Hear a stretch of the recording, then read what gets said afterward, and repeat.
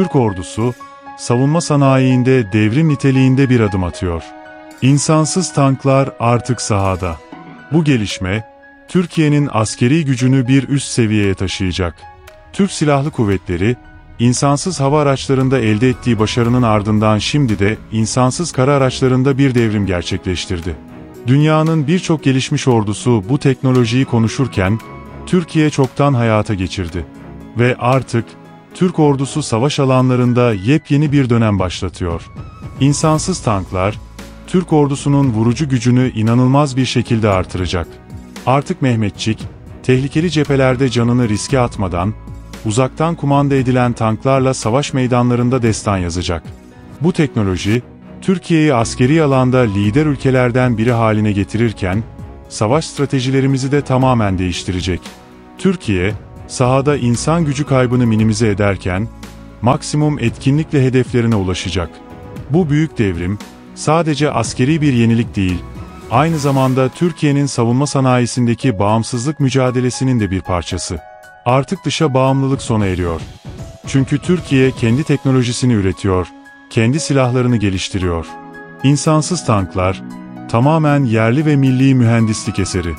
Türk mühendislerinin ve savunma sanayinde çalışan kahramanlarımızın emeğiyle geliştirilen bu tanklar, hem ülkemizin gücünü tüm dünyaya gösteriyor, hem de Türkiye'nin savunma sanayinde ne kadar ilerlediğinin kanıtı oluyor.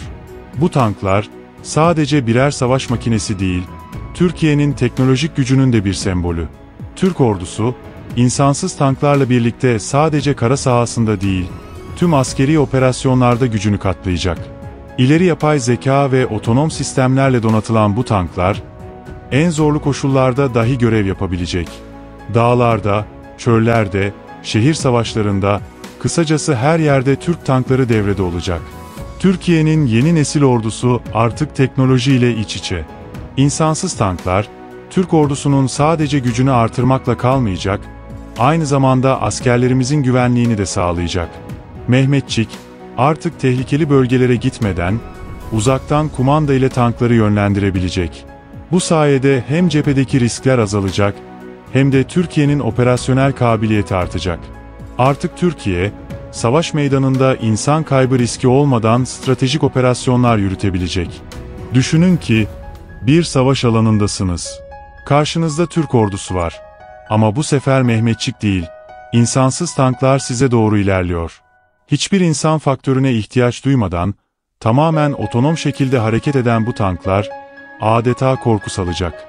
Düşmanlar, Türk ordusunun bu teknolojik hamlesi karşısında ne yapacaklarını şaşıracaklar. Bu tanklar, sadece savaş alanında değil, psikolojik savaşta da Türkiye'yi bir adım öne çıkaracak. Türkiye, bu devrimle birlikte savunma sanayindeki dışa bağımlılığını tamamen sonlandırmayı hedefliyor. Artık Türkiye, sadece kendi ordusunun ihtiyaçlarını karşılamakla kalmayacak, aynı zamanda bu teknolojiyi diğer ülkelere de ihraç edecek. İnsansız tanklar, savunma sanayimizde büyük bir ihracat potansiyeli taşıyor. Türkiye, bu alanda dünya devleriyle rekabet edecek ve bu teknolojiyi tüm dünyaya pazarlayacak. Bu projeyle birlikte, Türkiye sadece savaş teknolojilerinde değil, aynı zamanda barış döneminde de stratejik bir avantaja sahip olacak. İnsansız tanklar, sınır güvenliğinde, terörle mücadelede ve hatta doğal afetlerde bile kullanılabilecek. Türkiye, bu teknolojiyi sadece savaş alanında değil, barış zamanında da halkının güvenliği için en etkili şekilde kullanacak. İnsansız tanklar, Türkiye'nin hem askeri hem de iç güvenlik stratejilerinde devrim yaratacak. Bu tanklar, sadece uzaktan kumanda edilen araçlar değil, aynı zamanda yapay zeka ile donatılmış üstün teknolojik platformlar. Kendi kendine karar alabilen, hedef tespit edebilen ve düşmanı etkisiz hale getirebilen bu tanklar, Türkiye'nin savunma gücünü çok daha ileriye taşıyacak. Artık Türk ordusu, dünyanın en modern ve teknolojik ordularından biri olacak. Türkiye, insansız tanklarıyla sadece savunmada değil, saldırıda da en ön safta yer alacak. Bu gelişme, aynı zamanda Türkiye'nin askeri doktrininde de köklü değişiklikler getirecek. Artık kara harekatlarında insansız sistemler öncü rol oynayacak. Mehmetçik, sahada daha stratejik ve korunaklı görevler alırken, insansız tanklar en ön safta savaşı yönlendirecek. Türkiye, Bu teknolojik hamleyle birlikte hem askeri gücünü hem de stratejik kabiliyetlerini artıracak.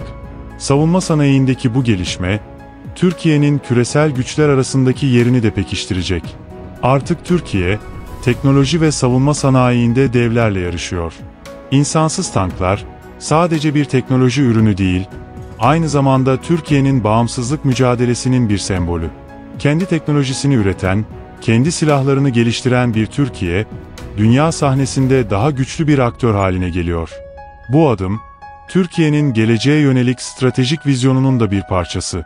İnsansız tanklar, gelecekteki savaşların nasıl olacağını şimdiden belirliyor. Türkiye, bu teknolojik hamleyle gelecekteki savaşlara bugünden hazırlık yapıyor. Bu tanklar, sadece bugünün değil, yarının da savaş teknolojisi olacak.